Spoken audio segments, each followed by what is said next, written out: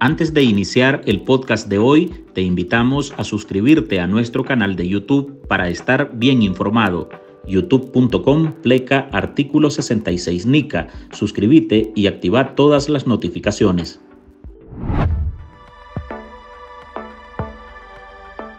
La persecución contra los líderes de la Iglesia Católica parece no tener fin.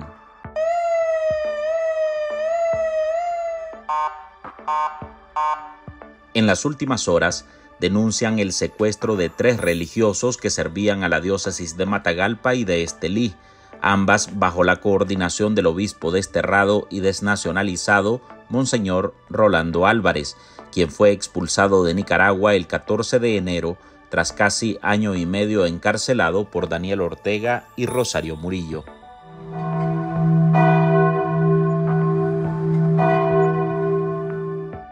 La abogada Marta Patricia Molina, con contactos directos en la iglesia nicaragüense en el territorio, acusó a la policía de Daniel Ortega de ser responsable por el secuestro del vicario judicial de la diócesis de Matagalpa y párroco del municipio de San Ramón, Monseñor Ulises Vega.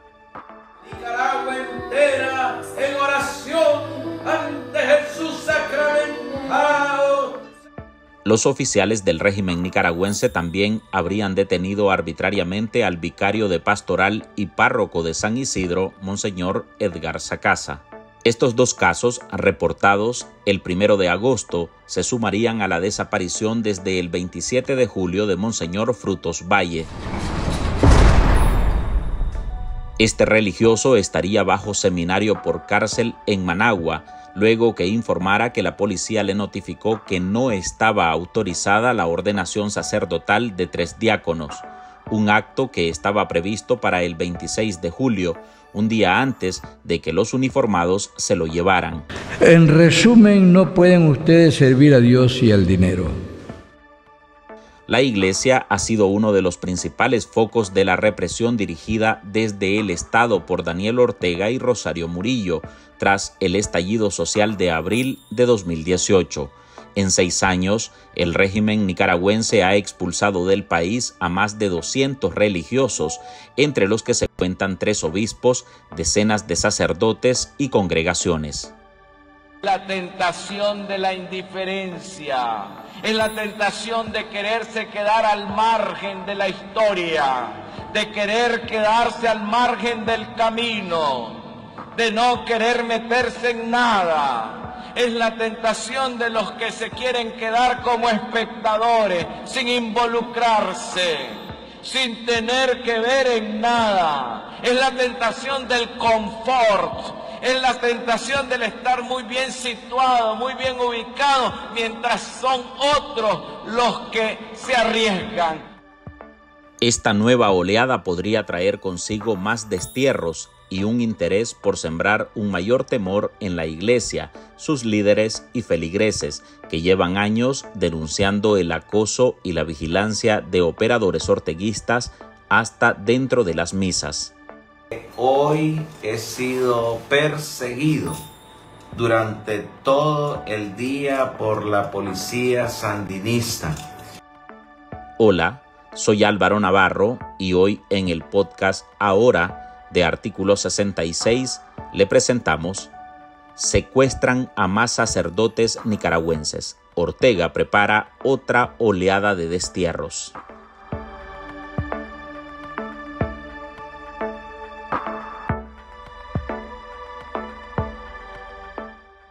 Entraron en mi círculo de privacidad familiar, llegaron a mi casa eh, privada, familiar, paternal, maternal, poniendo en riesgo la eh, seguridad de mi familia.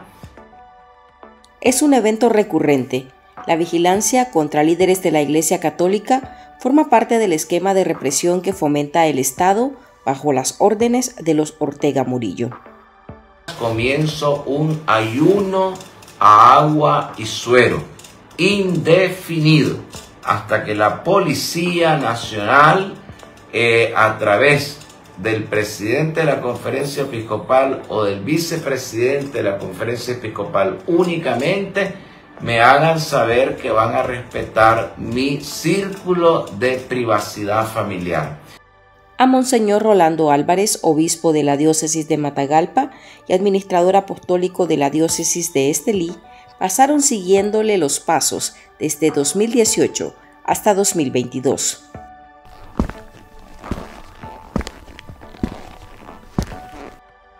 El religioso, uno de los más apreciados en Nicaragua y a quien no le ha temblado la voz para denunciar la violencia de la dictadura, la pobreza y el brutal éxodo que padece la ciudadanía, fue privado de su libertad después de años de intimidación y persecución policial.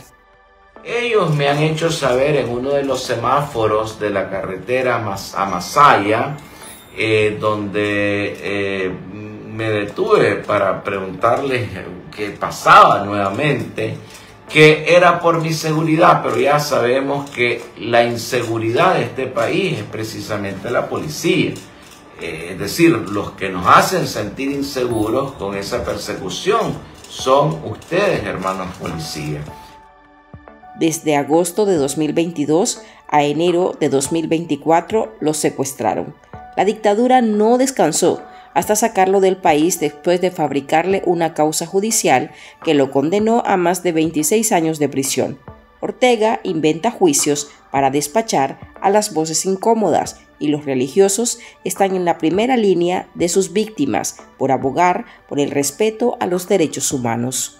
Y al pueblo santo fiel de Dios de las diócesis de Matagalpa y Estelique y a todos los que quieran unirse a mí a este ayuno, eh, indefinido que lo hagan. Que vayan a partir de mañana a las parroquias de las dos diócesis que en este momento estoy pastoreando.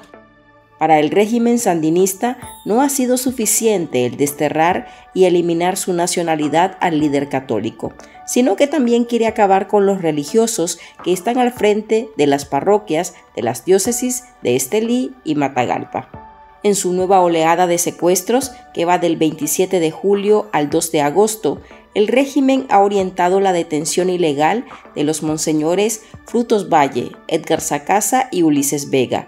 De los dos últimos se desconoce su paradero. Frutos Valle Salmerón sería de momento el rehén de conciencia de mayor edad del régimen, el administrador ad omnia de la diócesis de Estelí tiene 79 años, de los cuales 50 los ha dedicado a servir a la iglesia desde el sacerdocio. Palabra del Señor.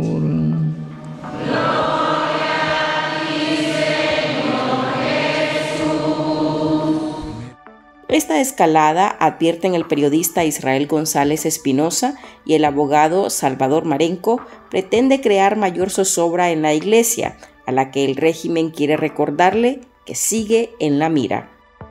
Al parecer, el régimen de Ortega y Murillo en Nicaragua están utilizando toda la distracción que supone eh, la situación de conflicto electoral en Venezuela para continuar arremetiendo en contra de la Iglesia Católica. Y esto obedece eh, a una estrategia continuada de ataque, de persecución religiosa que ha emprendido desde hace muchos años el orteguismo y se ha venido agravando. En este sentido, las nuevas denuncias se enmarcan precisamente en dos diócesis que han sido de las más golpeadas por la persecución religiosa, la diócesis de Matagalpa, la diócesis de Estelí ambas que están dirigidas, al menos nominalmente, por Monseñor Rolando José Álvarez Lagos, que como todo el mundo sabe en Nicaragua está exiliado en eh, Roma y que fue eh, preso político de la dictadura. Como colectivo de derechos humanos seguimos condenando y denunciando las detenciones a sacerdotes, a personas religiosos y a laicos quienes por participar en diversas actividades de la Iglesia Católica continúan siendo detenidos, asediados, amenazados. Recientemente se conoció la detención de tres sacerdotes y el aumento del asedio policial en Matagalpa y en Estelí. Evidentemente la dictadura considera estos lugares como un foco de resistencia, una resistencia silenciosa que sigue habiendo en Nicaragua, tanto de laicos pero además una resonancia de la voz del sacerdote, del obispo Rolando Álvarez, cuyas palabras y cuyos actos siguen resonando en los corazones de las personas de los lugares y de toda Nicaragua. Estas acciones de valentía, de vivir una fe con responsabilidad y una fe que denuncia las graves violaciones a derechos humanos y una fe que no puede estar de acuerdo con lo que están haciendo eh, el Estado eh, ante las graves violaciones, ante las torturas, las detenciones, etc. Y una fe que no deja de acompañar al pueblo. El defensor del colectivo de derechos humanos Nicaragua Nunca Más asegura que esta persecución a la Iglesia evidencia que nadie está a salvo en el país y que no hay respeto por las leyes y por la constitución política. Evidentemente seguir deteniendo a sacerdotes es seguir atentando contra las únicas libertades que existían todavía en Nicaragua, que era la libertad religiosa, que las personas todavía podían profesarla eh, un poco más que la libertad de expresión o la libertad de movilización. Sin embargo, ya no queda ni una sola libertad vigente en Nicaragua. No existe la libertad de asociación, no existe la libertad de religión, no existe la libertad de expresión, no existe la libertad de movilización, de circulación etc. Básicamente con, eh, el cercenar totalmente la libertad de religión, se han cercenado todas las libertades en el país. Y esto es para evitar efectivamente cualquier forma de, protesta, cualquier acción que enciendan eh, un sinnúmero de protestas, aunque sea protestas pequeñas. Ortega y Murillo quieren desarticular a la Iglesia por ser la institución con mayor reconocimiento de Nicaragua. Sus líderes sobresalen entre las figuras que generan mayor respeto y aceptación, y eso les preocupa, afirma González Espinosa, quien en su carrera periodística se ha especializado en temáticas religiosas. Esto obedece evidentemente a que eh, la iglesia sigue siendo un factor importante, un factor escuchado en la población y obedece a que sigue siendo la última institución que escapa al dominio total que tiene el orteguismo dentro del país. Y es por eso que el orteguismo intenta de alguna manera presionar y tensionar aún más a la feligresía católica de esta zona del país, la zona del norte, Matagalpa, Estelí. Y al parecer eh, lo que quieren es que la gente se quede sin, eh, sin sacerdote. Recordemos que la labor de los sacerdotes dentro de la Iglesia Católica es muy importante porque no es solo la liderar el pueblo de Dios, sino la de administración de los sacramentos y fundamentalmente eh, la celebración de la Eucaristía, que para la fe católica, para la fe cristiana, es el elemento principal, la de compartir el cuerpo y la sangre de Cristo eh, con los hermanos en comunidad. El clero de Matagalpa y Estelí continúan bajo asedio. La parroquia Concepción de María en Sébaco se encuentra rodeada de antimotines.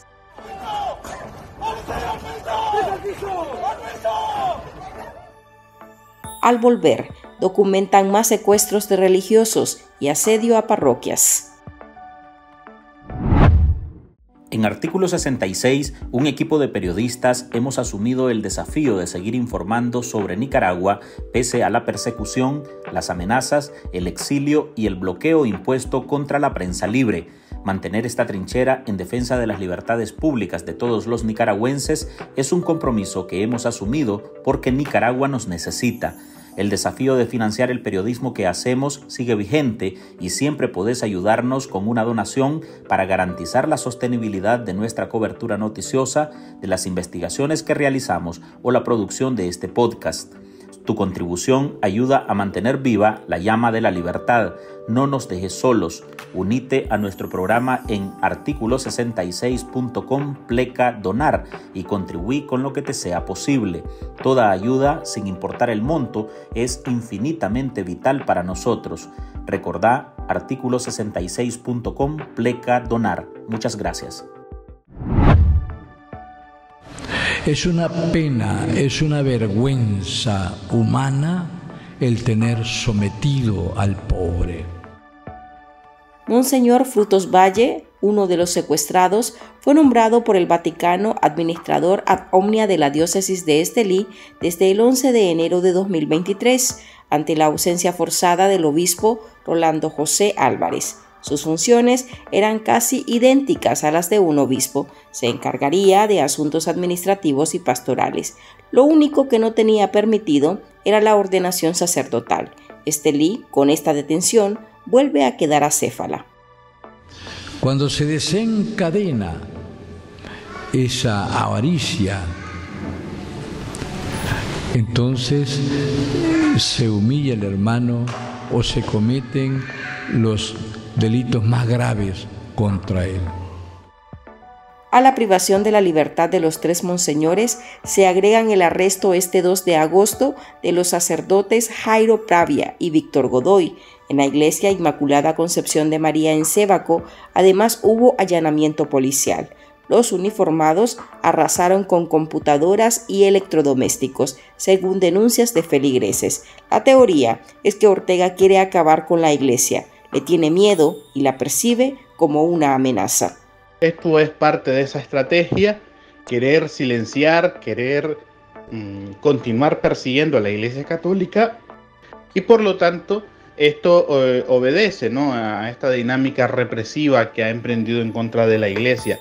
Y realmente es un sinsentido porque uno pudiera decir, bueno, ahora hay tres obispos fuera, eh, la jerarquía católica está de alguna manera en silencio y realmente lo que se está viendo es que no es en contra de determinadas figuras, sino en contra de toda la institución, porque el régimen identifica a la iglesia como un factor de amenaza y por eso dirige el ataque más fuerte en contra de ella.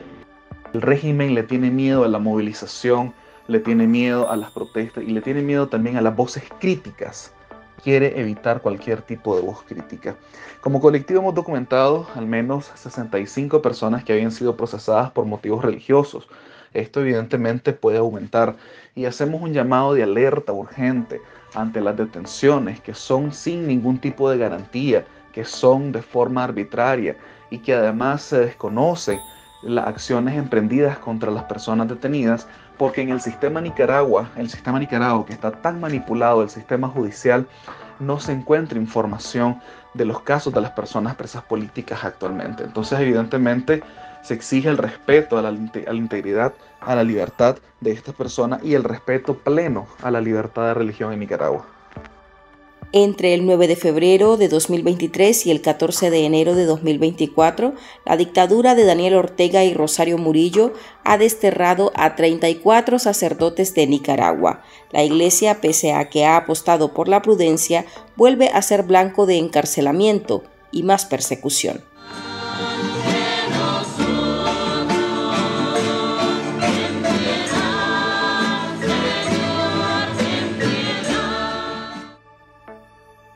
Hasta aquí llegamos con esta edición de nuestro podcast ahora de este viernes. Gracias por compartir en todas sus redes sociales y recuerde que en artículo 66 seguimos comprometidos con investigar la corrupción y publicar los hechos que nos afectan como país.